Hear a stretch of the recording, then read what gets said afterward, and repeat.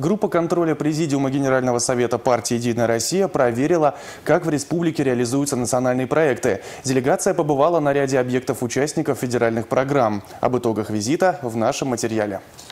Предприятие «Сиспель» одно из первых в республике стало участником нацпроекта повышения производительности труда и поддержка занятости. Результаты – увеличение объема выпускаемой продукции, но вместе с этим есть и сложности. Ряд проблем, связанных с выходом на экспорт, с рядом программ по импортозамещению требует вмешательства, в том числе, может быть, на нашем уровне, на уровне федерального собрания, и мы готовы здесь подставить плечо и какие-то запросы направить, чтобы помочь предприятию выйти на новые показатели. Встречи и разговоры на местах. Так работали участники делегации. Они разделились на четыре группы по четырем национальным проектам. По развитию здравоохранения у группы контроля вопросов не возникло. Мы увидели, конечно же, замечательно выстроенную структуру оказания медицинской помощи на разных этапах. Общее мнение наше сложилось таково, что как бы таковых рисков исполнения поставленных целей и задач, которые есть, мы даже не увидели. Рисков не увидели и члены группы контроля по реализации проекта «Экология». Сенаторы и депутаты посетили рекультивированную Пихтулинскую свалку, биологические очистные сооружения и мусоросортировочную станцию.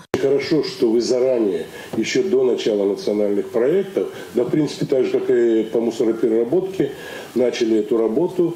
И сегодня можно говорить, что вы достаточно успешно выполняете те задачи, которые сегодня ряд субъектов только начинают не решать, а даже думать.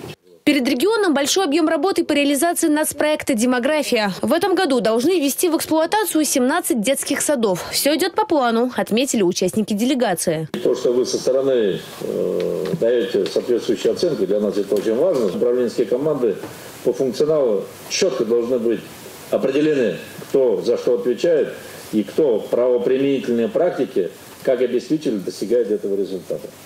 Поэтому благодарю, будем работать, будем обмениваться, будем снимать все те проволочки. Свою очередь, представители «Единой России» предложили свою систему партийного контроля. Главная цель – закрепить персональную ответственность депутатов всех уровней. Они взаимодействуют с населением, они перед ними отвечают. Можно создавать общественные группы контроля с привлечением специалистов, экспертов, вот, которые будут вовремя проводить мониторинг и, если в случае, если какие-то нарушения допускаются, вовремя реагировать.